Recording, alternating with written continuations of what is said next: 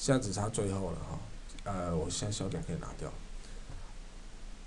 我们该调的、该加的，其实因为边加我也边调了一些颜色哈。那那最后这张图，因为有时候为了要一点气氛呐哈，所以大部分很多业主啊很喜欢夜曙光，可以吧？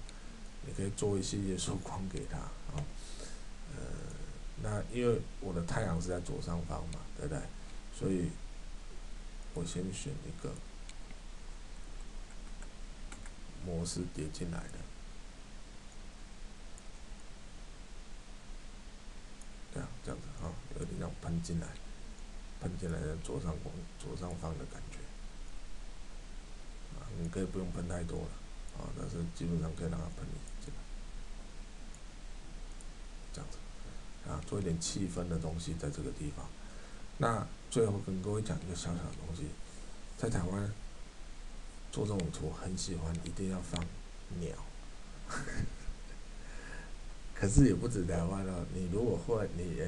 你你如果去看那些大场景的电影哦，那个不管是变形金刚啊、普罗米修斯，然后呢很大场景的电影，魔戒，你都会发现有鸟，鸟在空中飞。各位，你知道为什么吗？啊？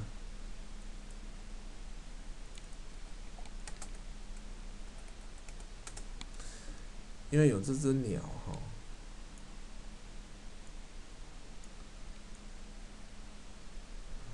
我觉得这个橡皮擦呢很很方便啊。有这只有这个鸟啊，假设这个鸟是这样子，你就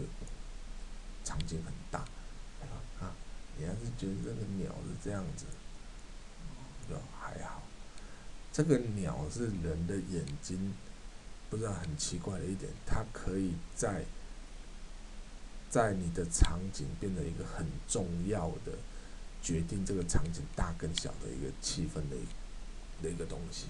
所以你加加几只鸟哦，你就会让然后那个鸟稍微小一点点哦，你就会让人家觉得这个场景好像很大，可以了，好像很大啊，其实真的有差啊，没有鸟。没有鸟，没有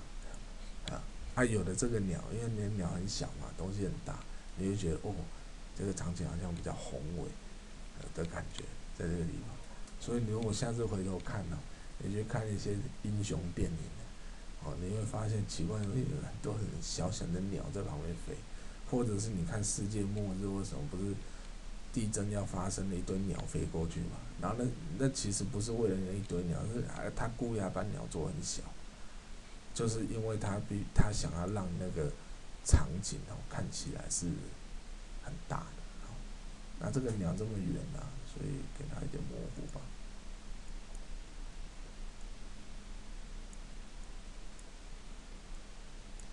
一点点就好，这样更大，这样，啊，所以我这张图就差不多完成了。